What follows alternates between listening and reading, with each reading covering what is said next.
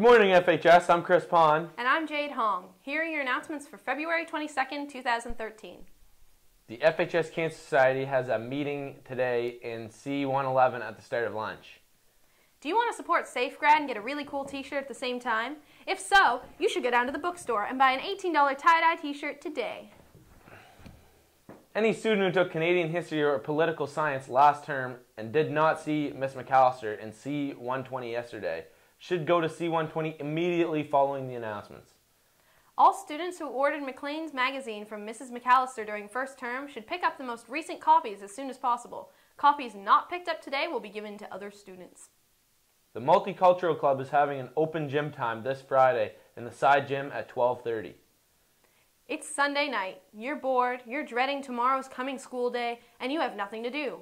Why not come out to Beats and Beverages for Belize? Bell, yes.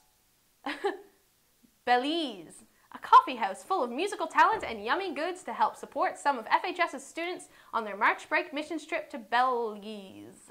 It's only five bucks, and 20% of any funds raised will go to towards getting school supplies and other much needed items for St. Hilda's School. Doors open at 7 p.m. this Sunday at Christ Church Cathedral Memorial Hall downtown. Plus, there's free hot chocolate, tea, and coffee involved. All girls interested in playing either JV or varsity girls volleyball, a tryout session will be held today in the side gyms from 3:45 to 5:30.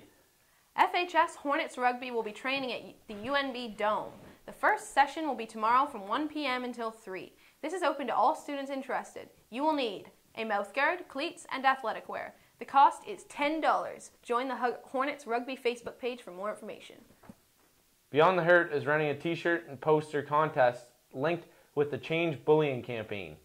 How can you change bullying? You come up with the answer. Design a poster or a t-shirt to spell it out for the rest of us. All submissions are due to guidance by the 26th of February.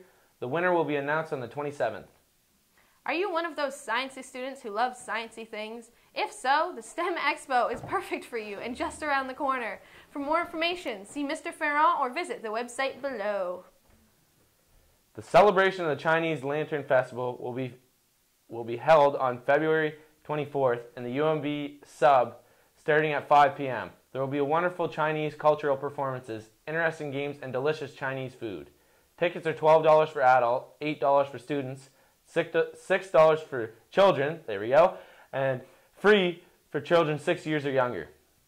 Discount tickets are available for, are available. Holy boys, I'm struggling to read today. It's okay, I did it earlier. For any group that has 10 or more people. You can buy tickets from Mark Zhu from F, in FHS, sorry, or from the Friendship Convenience Store or from the Aram Chinese Restaurant. I'm Chris. And I'm Jade. Have a great Friday, FHS. Jade is showing a little bit more emotion, so let's be proud of her.